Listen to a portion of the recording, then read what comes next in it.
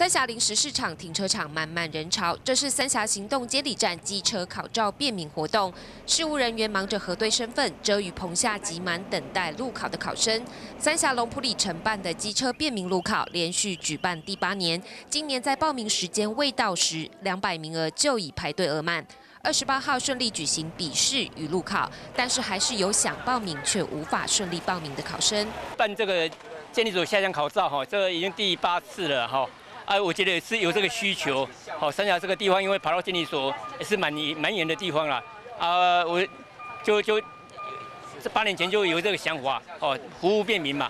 本来是要一百五啦，后来请那个好，能不能再再沟通啦？议员再沟通，哈啊，有增加到到两两百多，啊，还有可能还有超过两百位以上，呃，要报名的，无无法报名这样。由于三峡地区没有监理所，因此民众都需要到树林或板桥办理机车路考。在三峡龙埔里长陈志玉与新北市议员林明仁的协助下，在临时市场的停车场开辟临时机车考照路考区，方便三峡地区民众就近考照。不仅便民，也免除因为路途遥远会有未有驾照就违规骑乘机车的疑虑。啊，我觉得很方便，因为就在家里附近，然后不用跑到树林里面。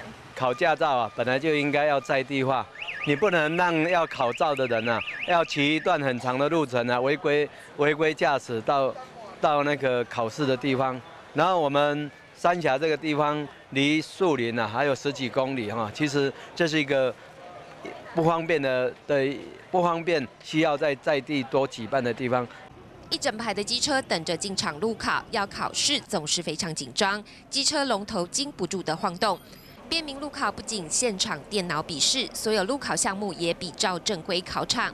两百三十位考生一个早上就顺利路考完毕，通过笔试与路考的民众，下午上完道路安全讲习后，就可以顺利取得驾照。